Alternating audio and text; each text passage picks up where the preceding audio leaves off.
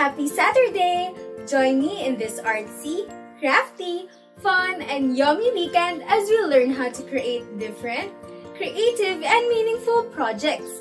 I am Teacher Alex and this is Teacher Vibal Weekend Special where we will engage in experiments, explore do-it-yourself activities, and many more.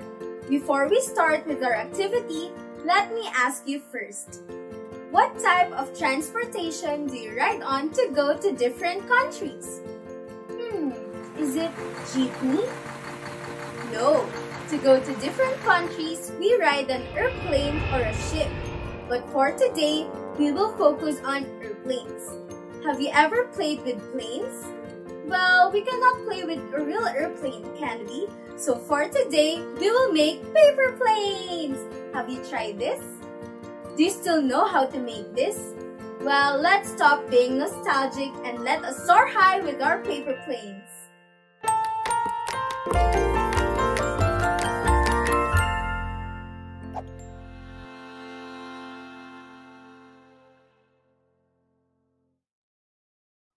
Have you ever wondered what makes a paper plane fly? Some paper planes fly better than the others. We have always asked our playmates why their paper planes fly better than ours. In today's activity, we will build our own paper planes and see how the design would affect how it flies. Did you know the forces that make paper planes fly are also the ones that apply to real airplanes? Yup, that's right. Now, let's talk about force, thrust, and gravity. These three words are connected when flying a plane. Let's get to know them one by one. A force is something that pushes or pulls on something else. When you throw a paper plane in the air, you are giving the plane a push to move forward. This is called thrust. The weight of the plane also affects its flight as the gravity pulls it down towards the earth. I think that's enough with all the technicalities. Now let's proceed to the main activity. The materials that we will be needing for this are some sheets of paper, a ruler, and the string or a tape. I just have one reminder. If you are going to fly your plane in an open area, make sure that there isn't any wind. Did you get all that? Now let's start. Follow these steps to learn how to make your own paper plane. Lay a sheet of paper on the table. Fold it in half, lengthwise to create a crease. Then, open the paper again and flip it on the other side. Now, pull the top right corner of the paper towards the crease, creating a triangle. Do this step on the other side. You should create a sharp tip now.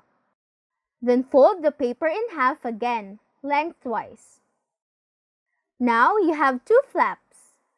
Pull the first flap towards the edge of your fold. Pull the same flap again towards the edge of the fold.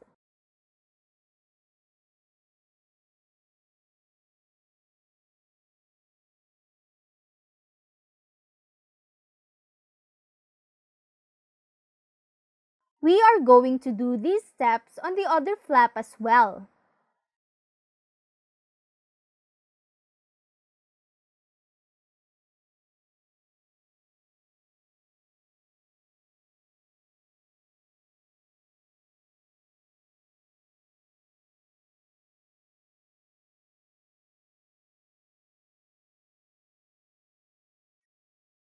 And there you have it. You now have your own paper plane. Wow, we now have our own paper planes. Now let's go to a large open area. But kids, make sure you don't go too far. Ask help from your guardians. It is not safe to go out because of the pandemic. So make sure to find a safe outer place where there are no people when trying this experiment. Okay? Wonderful! Make a line in front of you that is at least one foot long going from left to right.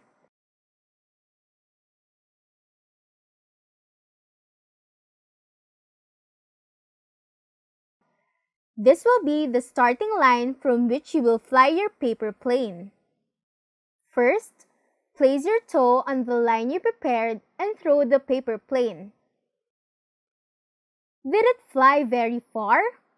Now, throw the plane at least four more times. Each time before you throw the plane, make sure it is still in good condition or that the folds and points are still sharp, okay? When you toss it, place your toe on the line and try to launch the plane with a similar amount of force, including gripping it at the same spot. Did it go about the same distance each time?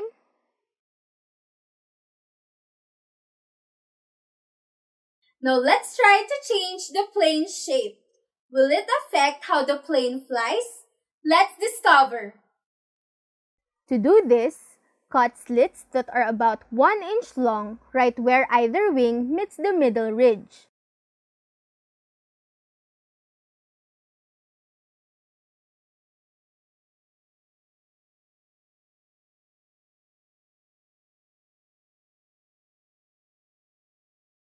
Fold up the cut section on both wings so that each now has 1 inch wide section at the end of the wing that is folded up at about a 90 degree angle from the rest of the wing. Throw your modified paper plane at least 5 more times, just as you did before. How far does the paper plane fly now compared to our first try? Did it fly better? Did it reach further? Try making paper planes out of different types of paper, such as construction paper and newspaper. So what are the results? As a paper plane moves through the air, the air pushes against the plane, slowing it down. This force is called drag. You may ask, what is drag? To help you understand this better, imagine that you are holding an umbrella on a windy day. As the wind blows harder, it pushes your umbrella up. The force of the air that pushes your umbrella upwards is what we call the drag, or also sometimes referred to as air resistance.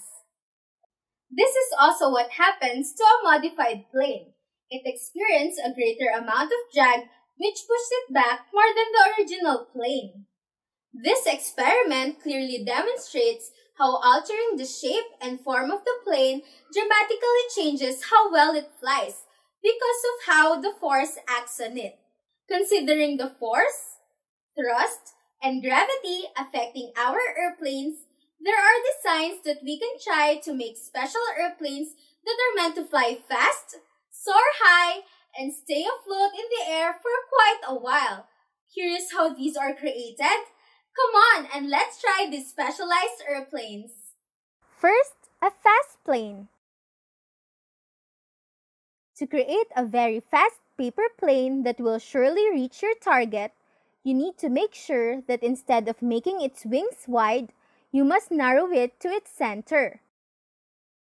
You may try imagining a pointed paper dart in making this.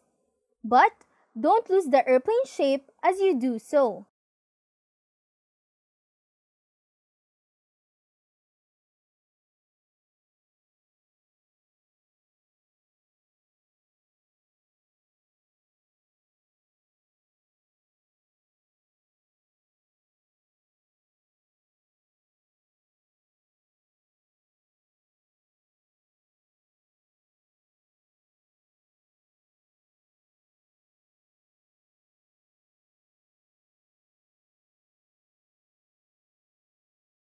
Making its nose pointed like a real airplane lessens the air resistance. Thus, it can travel quickly than other models. Look at the bullet trains of Japan, the nose of an airplane, or even a rocket. They are all pointed, right? This is to lessen the drag or air resistance. Second is the fly-high plane. This is actually the same with how you create your regular paper planes.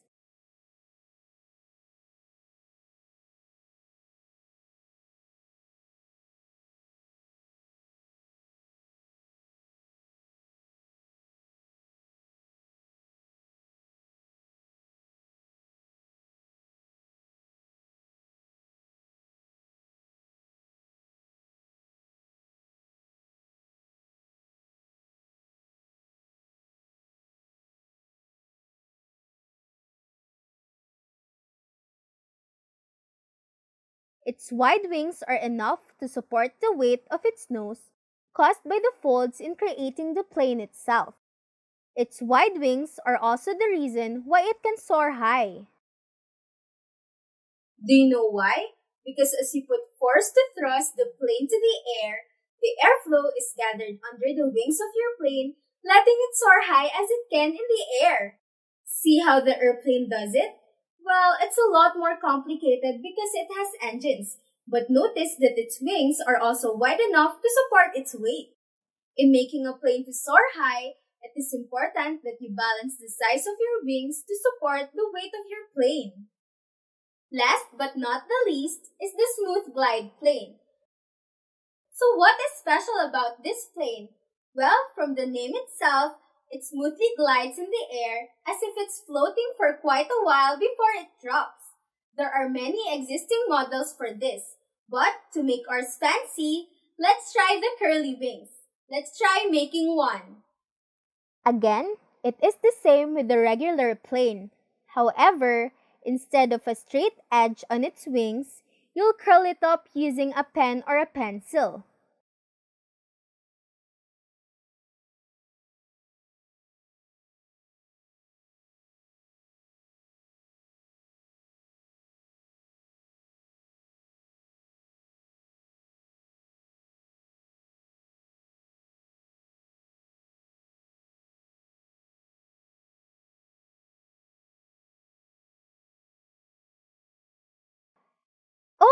And don't forget to make the wings wide as well. Again, wide wings are effective in supporting the plane's weight and the curls will help so that the plane will glide as it flies through the air. Careful not to curl it much. We would only like to smoothen up the edges so that it will glide in the air like the birds in the sky. Fantastic, right? This just shows that understanding a few fundamentals of science behind these things can create the simplest activity, such as throwing paper planes a lot more interesting and exciting. Hmm, are you ready to fly your paper planes with your friends? Let's see whose plane is the fastest, the highest, and the most graceful glider in the air. Like these paper planes, you will also soar high. Our wings may be clipped for now, but soon you will get to fly and reach your dreams. Join us again next week for more exciting DIY videos. Again, I am Teacher Alex and this is Teacher Vibal Weekend Special. Stay safe, everyone!